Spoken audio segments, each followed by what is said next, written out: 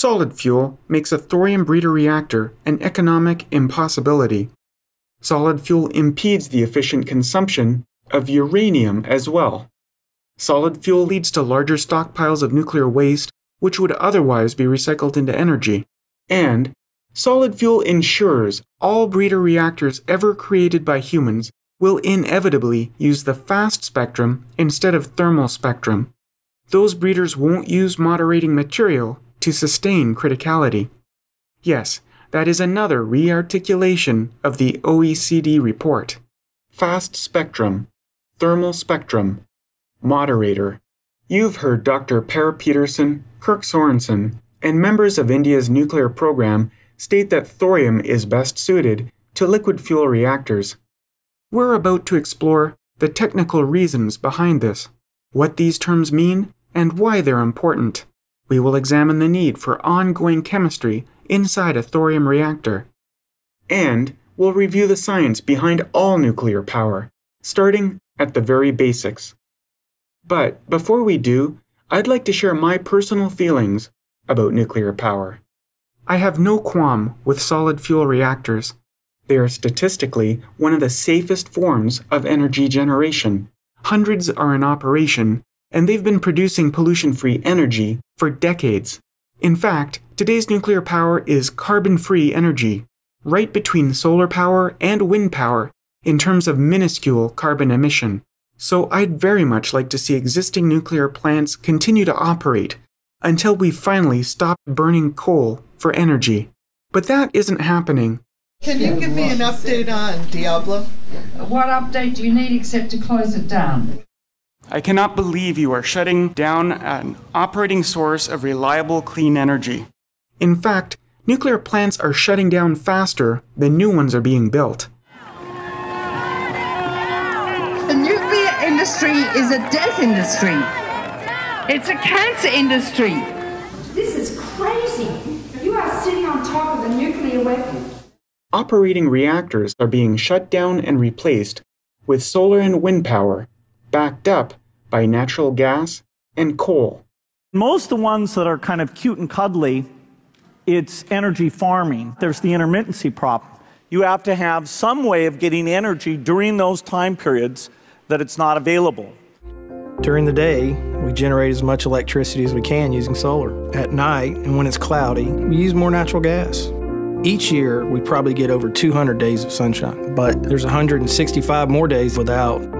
As big as this solar plant is, it's not enough to meet our customers' needs. The plant operates 24 hours a day, 365 days a year. That's why we need natural gas. The result being higher, not lower, greenhouse gas emissions. We are headed in the wrong direction. Will a marginally better solid fuel reactor change this? I don't think so, because a marginally better solid fuel reactor is already under construction. It's a pretty darn good reactor, and it might almost become economically competitive with fossil fuel if a strong learning curve is established in their manufacture and assembly. It has great passive safety features designed to survive a Fukushima like loss of power to its cooling pumps. I'd like to introduce you to the AP1000. The AP1000 plant is designed to meet the world's growing need for electricity. So, how does Westinghouse explain this pressurized water reactor's passive safety system to the public? As the steam from the in containment refueling water storage tank fills containment, pressure increases until a certain point is detected by the instrumentation and control system. Then the instrumentation and control system sends a signal to automatically open redundant air operated valves. Welcome to the exciting world of nuclear industry communications. I, I, was kind of surprised looking at the communication of the AP1000 how it didn't seem like it was trying to, uh, to appeal to a mass audience. They fear if there's any hint that if you say, hey, there's a better reactor here, the new all-wheel drive, all-leather seats reactor has arrived, that casts doubt on the predecessors that are still in operation. The valves allow water to flow by gravity from the passive containment cooling water storage tank located on top of the shield building to provide additional cooling of the steel containment vessel. Are they trying to tell us the AP 1000 is a particularly safe reactor? I'd also like to introduce you to Dr. Helen Caldicott. An AP 1000 which is still a light water reactor like the ones you have here, but it's cheaper because it's got less steel and less concrete in it, and it's called an eggshell reactor. in the industry, so it could easily have an accident. It's very dangerous. She's a prominent anti nuclear activist and funded the author of this thorium dismissing report. I think you should not put nuclear energy on the table. It sucks the air out of the energy policy discussion. She uses debunked, fabricated visuals to sell books? Well, they'll be dying of cancer, but they're not dying from lack of electricity. They might be sweating a bit in the summer. Oh, but you mustn't be too hot in the summer. That's what we've got sweat glands for. And to scare people into protesting operating reactors. And the industry has never, ever called her out on it. In Seattle, the ambient levels of radiation went up 40,000 times above normal and I've got a, um, a few slides. This is the fallout from Fukushima. Ambient levels of radiation in Seattle went up 40,000 times. This was released by the Australian Radiation Service, which has actually come to pass. So here's Japan, and here are you. And the ambient levels of radiation in Seattle went up 40,000 times above normal. The ambient levels in, in Seattle went up 40,000 times above normal. Because of this, Dr. Helen Caldicott knows she can say whatever she wants with no regard for the truth. Parts of Tokyo are extremely radioactive. Nuclear power produces massive quantities of global warming gas. There are wild boar in uh, Germany that almost glow in the dark. But 40% of the food probably in Europe is radioactive. More people have died from Chernobyl than in the Black Plague. Do you think that the industry should debunk people that are less credible? I think that when somebody makes false statements about nuclear, uh, that's when you need to address those statements specifically. And in some cases, you need to uh, demonstrate why the person who made the statement has no credibility. A number of people are making false claims and they're not getting challenged. What's with the nuclear industry that they don't do that? They don't care, they don't have to. Big nuclear is going to survive, and as a matter of fact, it's going to flourish. The industry has a philosophy of as long as nobody's thinking about us, that's a good thing. Uh, they like to do their job quietly and uh, hope for the best. Look at what Westinghouse is doing in China. They have, to my knowledge, four AP 1000s being built right now, another 12 on order. Maybe China's going a little fast, but also the Chinese government is acutely aware of its pollution. It doesn't like nuclear power. nuclear energy is a kind of energy. It is safe People of the city make the life better. 或者握有 and the corn is limited source. We had better not to use the coal uh, industry cannot get much energy from the sun. China is a big country, and so nuclear power is necessary. There were some Eskimos, Inuits, and they had their normal life and they dried their fish and plaited the, the leather and hunted the polar bears and lived in their igloos.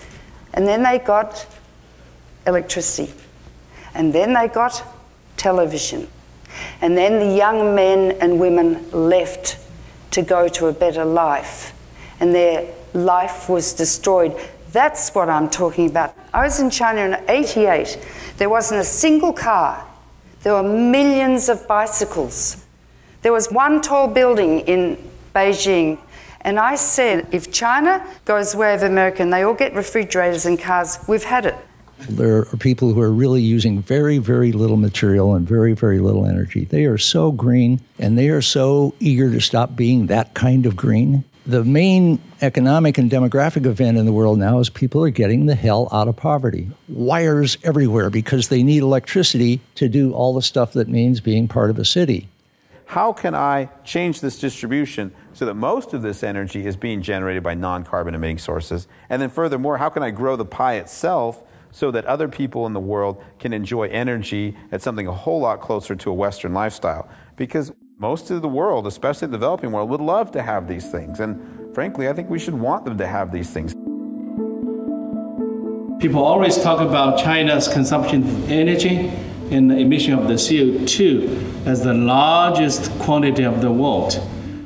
China export the consumption of the energy in China is not, not, not totally for China, but for the, for the world. But in, in US, not only per capita wise, the, the highest energy consumption country, but also take advantage of other country to make import of the goods, energy consumed in other country rather than in the US. A lot of the energy used here in China is not for consume, it's for production.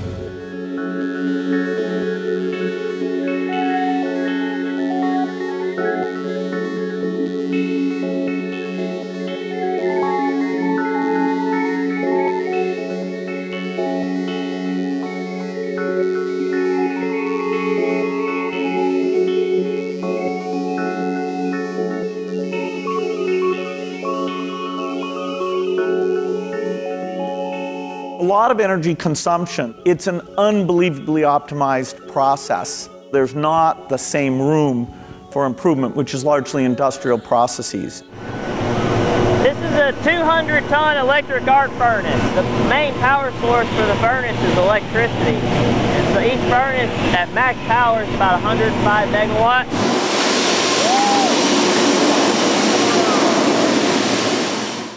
So you've been able to drop your power consumption per ton almost about a third, it looks like.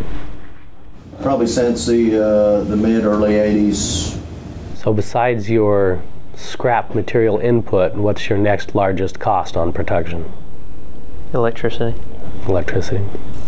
In a week's time, if both fires are done, we'll probably use more electricity than the city of Decatur uses in a year. Yep. Wow. In fact, one of the things that we've been chasing is, you know, we've got all this waste heat, but it's the nature of it that doesn't lend itself very well to, you know, throwing in a conventional Rankine cycle somewhere. In theory, back of the napkin kind of stuff, maybe we could recover another 20 or 30 megawatts out of the 200 we're sharing between these two furnaces. So we probably captured 90% of what's to be captured, chasing the last 10% is pretty expensive most people don't understand. Everything you look at, touch, feel, anything that's tangible, there's energy behind it. A lot of it. Don't eat any Japanese food. No seaweed, no miso, no fish, nothing. I know Japanese food is that. I went to a restaurant in New York the other day, sushi restaurant. People bringing sake and girls all dressed up and their big shoes that they wear these days and everything. and I said, where did the fish come from? Oh, they said Japan. So I got fish from New Zealand. I mean, you got the, the same people that demand fresh fish to be flown in from Alaska and cold storage. They're the ones that, oh, we got to have wind power. We got to have all these all these options that aren't viable. So, yeah, uh, it's a frustration we felt in this industry.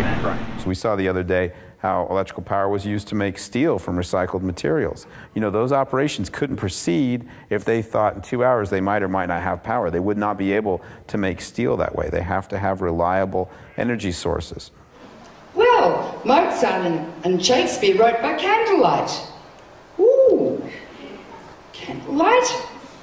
I'm writing an article for the International Herald Tribune now about the future of nuclear power, and I ended it by saying that and said, and they, the editor wrote back and said, well, you don't want to encourage people to think they have to go to candlelight again.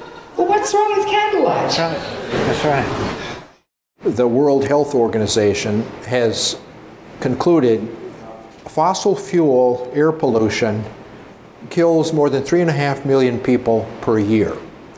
That's 10,000 people per day.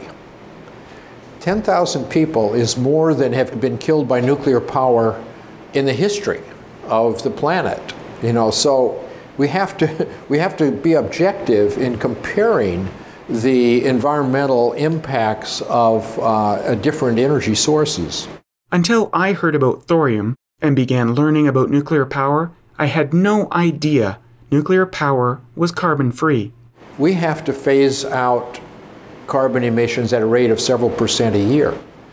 I don't see any way we can do that without the help of nuclear power. Nuclear power is essentially carbon free energy. And until I fact checked Caldicott's dismissal of thorium, Educate your friends and get the word out about thorium. I had no idea how much misinformation had been propagated. As James Hansen says at NASA, the godfather of global warming, we've got to stop burning coal now. Germany's now decided that 80% of its energy is going to come from renewables shortly. The People who argue for all renewables think that, well, if we can go from 0% to 10% to 20% renewable, then we're on the way and then it will get easier and we'll get 100%. Well, it's actually, if you look at the engineering, it's actually the opposite.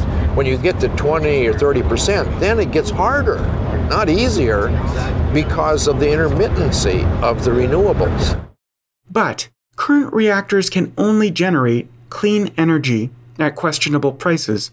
Long periods between projects uh, and long periods between the task, this is what I would call the ideal conditions for forgetting rather than learning. If you're in manufacturing, you're doing the same task every week or month or day, depending on the, the, the, time, the time step of the factory. These you don't, you have different people in different places to different standards. This is a conditions for forgetting, not for learning. If AP1000's costs can be controlled enough to compete with coal plants, then coal will get cheaper.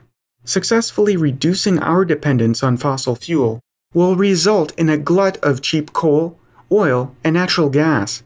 We need more than borderline competitiveness to keep people from burning those cheaper and cheaper sources of dirty energy. Nuclear power plants are capable of much more than producing marginally competitive baseload electricity. So, what can they do? Let's return to first principles and then re examine what it is the human race needs in order to thrive with minimal impact on our environment.